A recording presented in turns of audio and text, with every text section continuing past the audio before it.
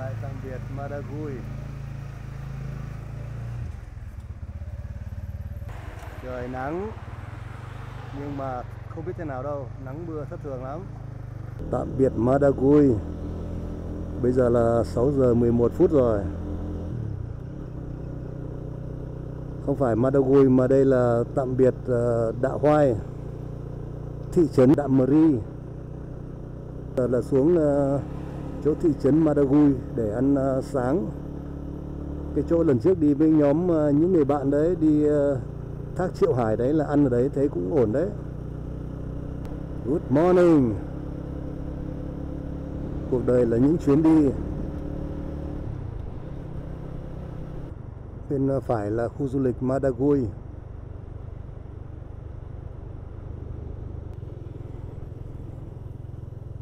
Còn đây là trạm dừng chân Madagui của Phương Trang này.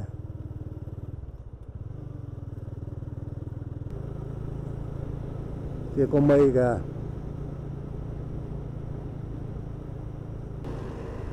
Đường này à, quen rồi cho nên không phải dùng cái bản đồ nữa. Tạm thời cất đi. Bên phải này có cái trạm dừng chân à, cũng à, thấy xịn sò lắm mà chẳng có người gì cả. Madeleine. Đây là đèo chuối rồi. Đèo chuối thì ờ, không dốc, Nó thoai thoải thôi. Vắt qua giữa một cái khe của hai bên núi, Cho nên là nó không có leo dốc. Đây là, chính là giữa đường của từ Sài Gòn lên ờ, Đà Lạt ấy, Thì đây là điểm giữa. Đi Đà Lạt cũng 150 cây mà về Sài Gòn cũng 150 cây. Và bên trái này có một cái trạm à, nghỉ Trạm dừng chân Nam Hữu. Bây giờ thấy có vẻ vắng vẻ lắm. Tới đây là hết đèo chuối rồi. Hết đèo chuối là vào à, thị trấn Madagui Đấy, bắt đầu từ cái biển báo đô thị này là vào à, thị trấn Madagui đấy. Đây là trung tâm ờ, huyện ờ, Madagui đấy. Cái đèn đỏ này sẽ phải là đi vào ờ, thác Triệu Hải ấy. đèn đỏ. Đấy rẽ phải hình như là DT 75 đấy, hay quên. Thôi, cứ vào đây ăn đi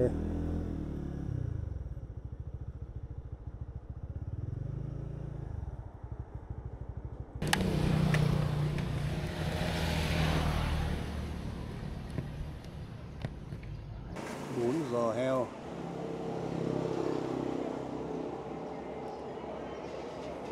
cái chỗ này là lần trước đi với đoàn à, đi thiệu thác Triều Hải của nhóm những người bạn ấy là cũng ghé đây ăn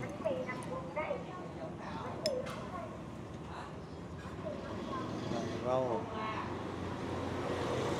đây là ăn, ăn rau là bắp chuối rồi là giá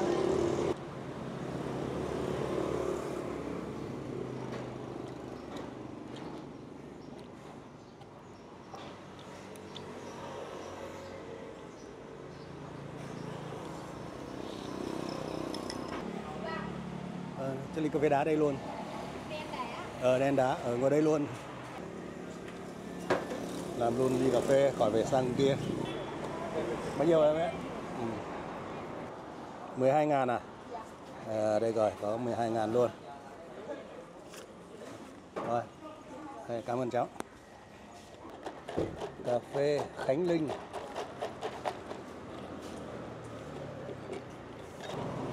Đây là Madagui Đà nóng quá tuyệt vời. Vậy là xong bữa sáng rồi. Đấy, vào đây là địa phận Đồng Nai này. Vừa qua Madagui cái là tới Đồng Nai luôn. Tôi thấy cái biển báo là thác Hòa Bình bên tay trái này. Đây là ờ, check in cái thác này cái nhỉ Rồi để hỏi Google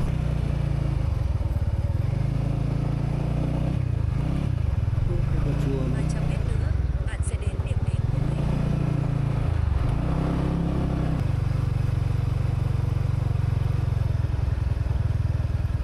May quá nhà đây có cái cầu Chắc là vẫn là không gian của chùa quá. Tôi đang ở chỗ này là theo ờ, cái biển báo ngoài đường và theo Google chỉ là cái thác Hòa Bình. Nhưng mà thực sự là vào đây thì là một cái thác không có nước, nó đang mùa khô. Và đây nằm trong khuôn viên một cái chùa. Đấy, cái thác này này. Không có một giọt nước luôn. Còn đây là cái cầu đi vào này đấy, ở đây là ngắm thác đấy. Xây cầu này đứng đây để ngắm thác đấy, nhưng mà thác này thì mùa khô không có nước. Con đường vào người ta chưa làm xong, sẽ làm con đường đi bên này nữa, thành ở ngoài là cái chùa lớn lắm. Không biết chùa tên là gì, để tí nữa ra xem. Đây người ta đổ cả đá vào đây này. Và chặn một cái đê kia, chỗ này sẽ để mùa nước nước đổ về đây đấy, thành cái cái một cái hồ đấy. Ở ngoài kia thì à, là một cái chùa. Tí nữa sẽ ra xem lại cái tên cái chùa này là chùa gì nhá lớn lắm đi qua đây thấy hoài à. Đây, kiến trúc là cũng ờ, rồng phượng ghê lắm.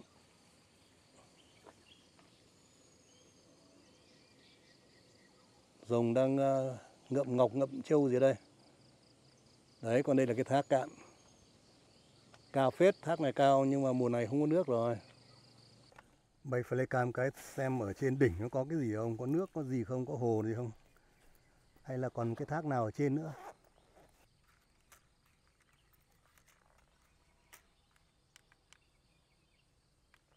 Đây lên xem đỉnh có gì không nhá.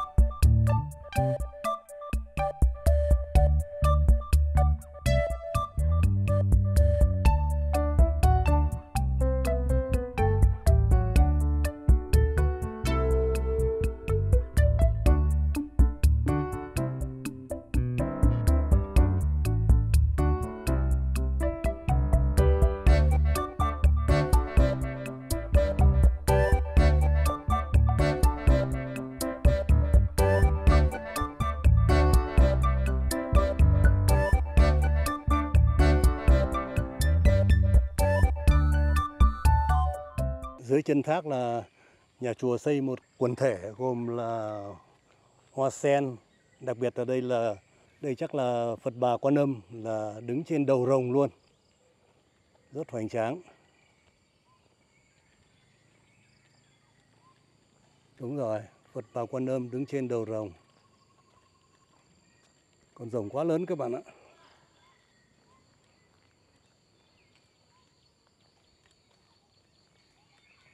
Thân rồng uốn lượn.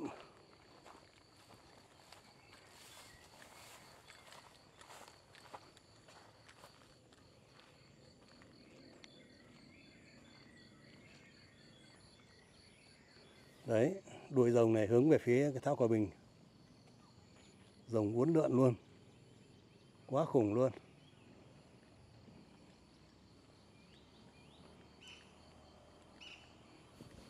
Đấy, nhà chùa có cả máy xúc này, đang xúc cái này. Đây, dưới này là có một cái hồ này, tích nước được, ở đây thì tốt quá. Mùa mưa thì tích nước vào đây. Trên kia là một cái chỗ làm tượng, chùa này là cũng hay đấy. Tựa lưng vào núi là quá tuyệt vời rồi.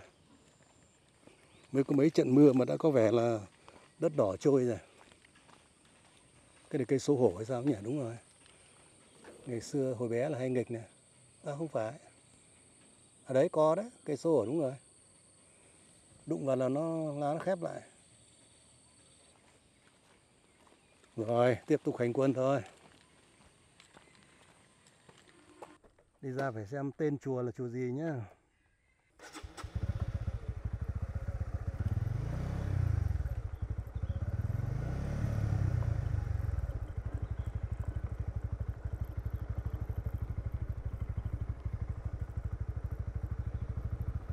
đấy quang cảnh chùa. Hội hoa đăng, đấy, cũng có làm cổng chào hội hoa đăng nữa này. Đấy, toàn cảnh chùa. Quá lớn luôn. Có một cái ờ, giả sơn đây này. Đi qua đây hoài nhưng mà lần đầu tiên ghé đây. À đây là chùa Linh Phú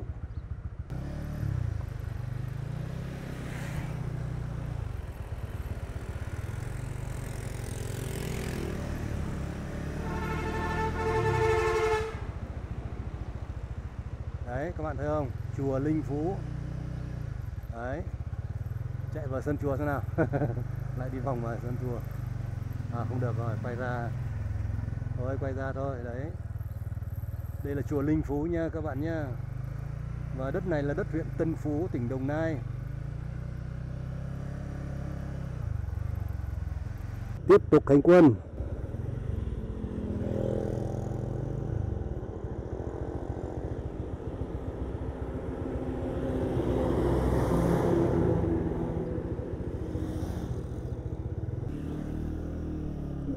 Rồi. Đây là xã Phú Sơn, huyện Tân Phú, tỉnh Đồng Nai. Chính xác là như vậy.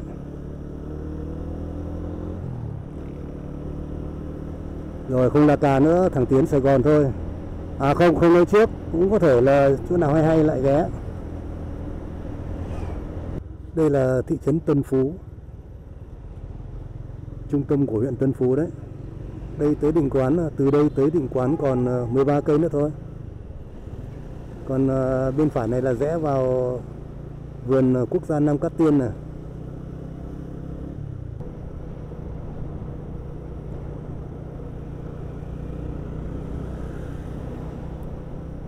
hai bên là rừng ờ, giá tị. Cây giá tị hay còn gọi là cây bắn súng đó gỗ nó dẻo, có thể làm bắn súng được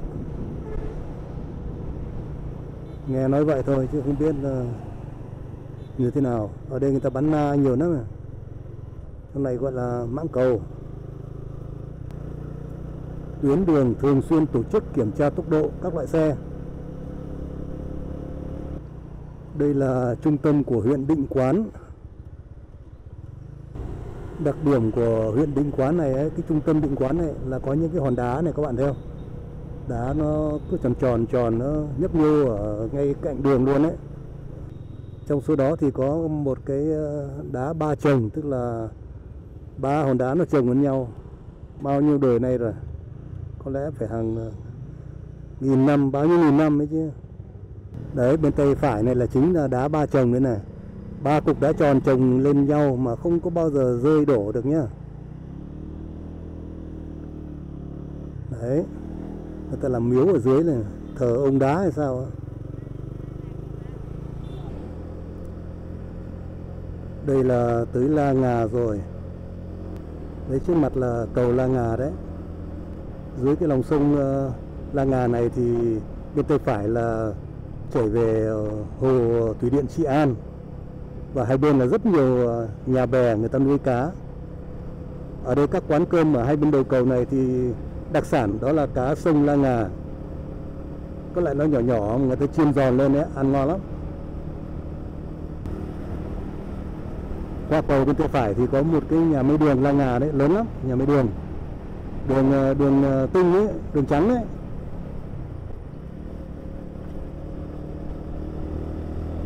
xe chạy rất ngăn nắp và rất từ từ là có vấn đề đấy.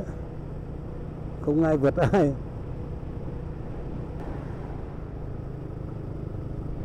Hết đất định quán rồi. Hai bên là những à, cánh rừng cao su. Trạm rừng chân này cũng hay phết này, cảnh thảo nguyên. Rồi bên cạnh một cái thì toi đóng cửa luôn.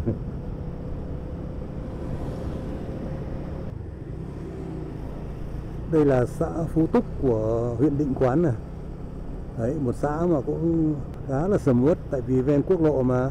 Nằm ngay ờ, quốc lộ cho nên là cũng khá là sung túc, tấp nập. Ở đây thì cũng đủ hết đấy. Nhà khoa bác sĩ, luật sư, rồi công chứng, đặc biệt là công chứng, tại vì trên này người ta bán đất nhiều. Rồi điện máy xanh, rồi là thế giới di động, vân vân. FPT shop. Chả thiếu cái gì cả tới gia kiệm rồi. Tới đây là cũng sắp tới uh, ngã ba dầu dây rồi. Quá trời xe. Tới đây là dầu dây rồi đây này. Trung tâm huyện thống nhất. Đấy ngã ba dầu dây bây giờ ngã tư dầu dây có cầu vượt ở trước mặt đấy cầu vượt dầu dây đấy, bây giờ mình sẽ phải về biên hòa. Rẽ trái là đi lên à, long khánh, là đi ra hà nội đấy.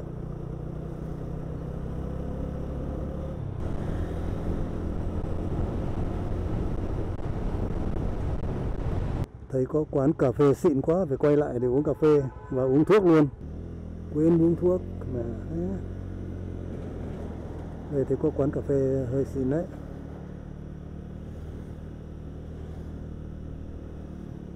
Đấy SC Coffee Shop. Rồi tươi mát luôn.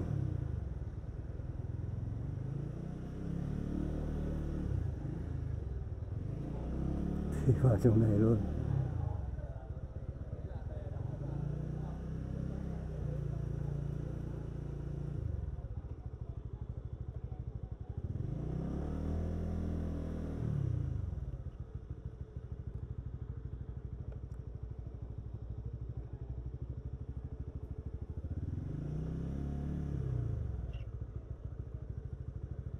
Đây là Biên Hòa chưa em nhỉ?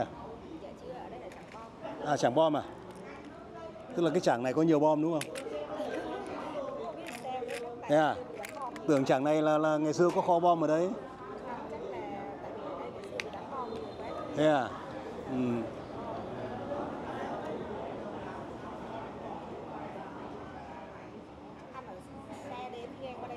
Không, anh cũng ở gần thôi, ở Sài Gòn.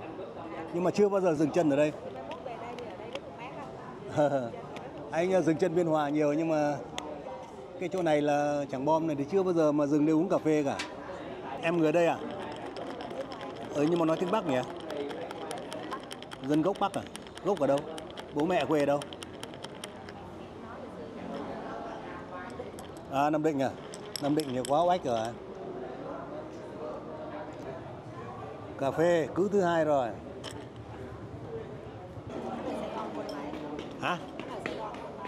Anh ờ, ở quận Tân Phú. Tân Phú là là là Tân Bình, trước là Tân Bình đấy. Tách ra. Anh vô từ bé mà. Đang thích cái này đây này. Pizion nhá. Và quán cà phê này ở Trảng Bom nhưng mà cũng lớn lắm và đặc biệt là khá là mát chắc là tôn lợp uh, ờ, có cái chống uh, chống chống chống nóng.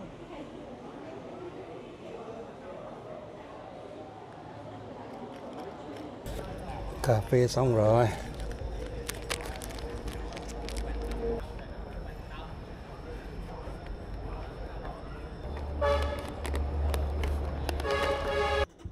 Cà phê xong rồi lại tiếp tục hành quân. Sắp về tới nhà rồi.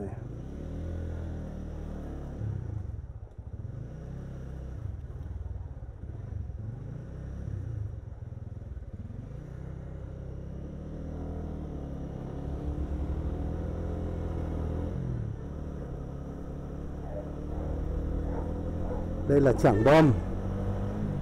Vùng này là người Bắc nhiều lắm, di cư 554 ok, qua một cái trạm thu phí.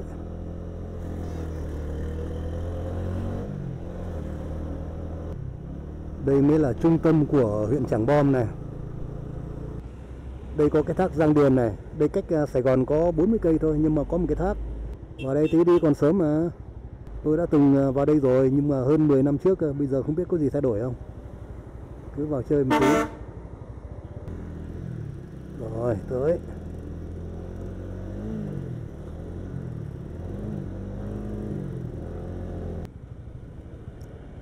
Chuyến đi này gắn liền với các cái thác. Thác này thì chắc chắn là không tắm được rồi. Không biết tắm được không nhỉ? Đây, qua cái cầu này là thác Giang Điền rồi. Bên tay trái.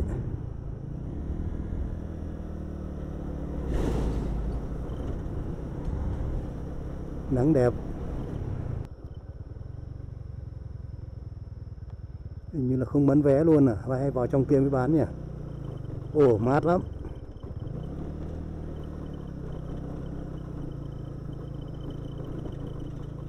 Phòng bán vé đây này.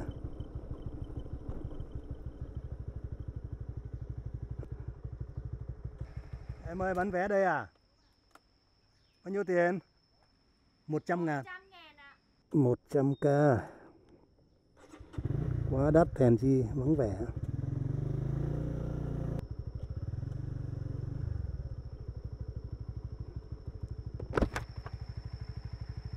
Mua vé đây à?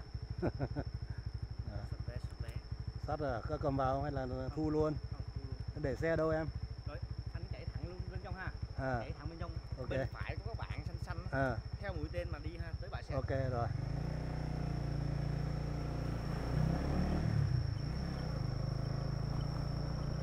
Đấy.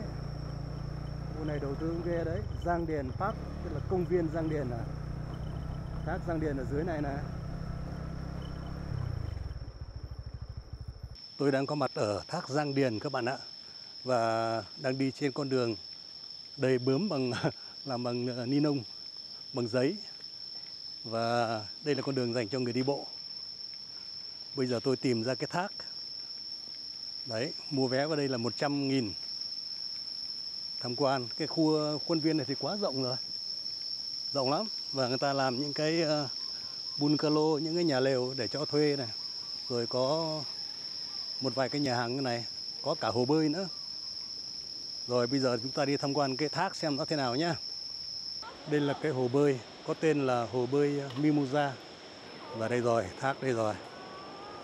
Đây là lối xuống thác à? Bậc đa sắc. Đấy đúng là bậc thang rất là nhiều màu sắc. Thác trước mặt chúng ta rồi. Trời ơi, vẫn có người tắm nhá nhưng mà nước đục quá. Hèn chi là phải tắm lại thôi, nước này là không tắm rồi. Không tắm được, nước này không tắm được. Bên kia người ta cắm trại kìa, có lều kìa. Trước mặt chúng ta là thác. Ok.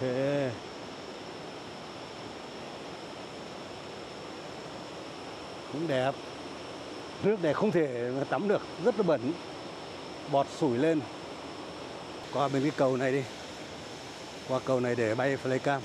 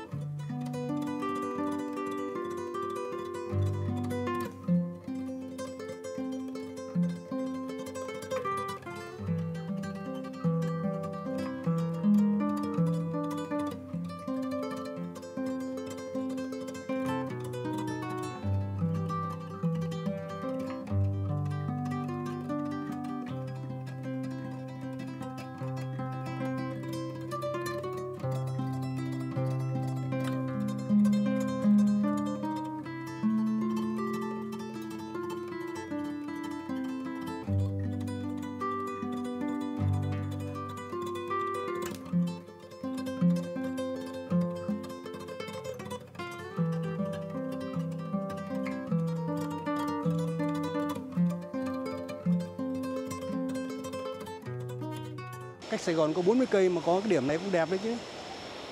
Cầu này người ta đặt tên là cầu Dạ Khúc. Quá đẹp luôn, trẻ các bạn trẻ tắm này, mà trẻ con mà tắm dám tắm luôn nhỉ, ghê nhỉ. Ui dồi, nước chảy này mà cuốn đi thì chết luôn đấy.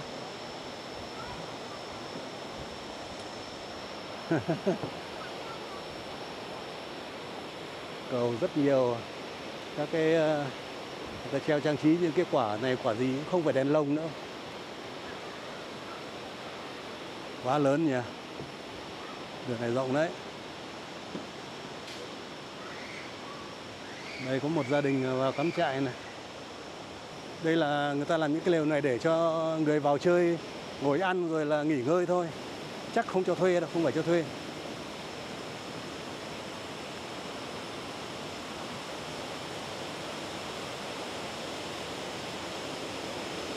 Đấy, thác đấy thác Giang Điền nghi nghi thác này thác nhân tạo quá à.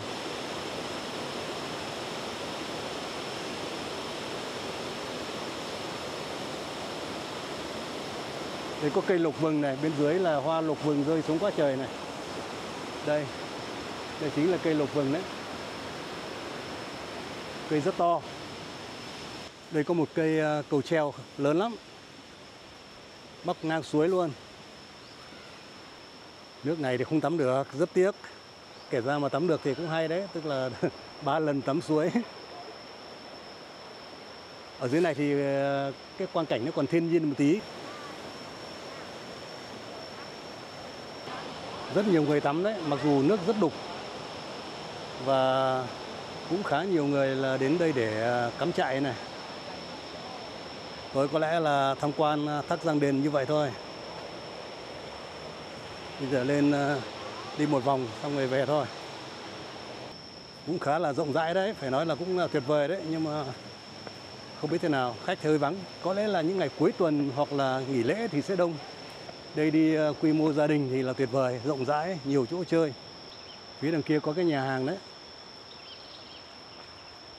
Cách đây mười mấy năm là tôi có quay MV ở đây rồi, quay rất nhiều MV ở đây. Nói chung là cứ đặt máy là có góc đẹp. Ngắm thác Giang Điền như vậy thôi. Tiếp tục về Sài Gòn. Không có ai để nhờ chụp bức hình ở đây nhỉ. Đấy, tổ chim hạnh phúc này. ok bên kia người ta dựng hai cái kia bằng những cái rễ cây có lẽ là là hình tượng của cặp ngà voi à đấy, tiếng thác ở dưới vẫn ờ, dì dầm. Bảng giá nhà lều đây này. Thứ hai đến thứ sáu 200 nghìn. Thứ bảy, chủ nhật. Thứ bảy đến chủ nhật là 220 lễ tết 250 khá đắt đấy.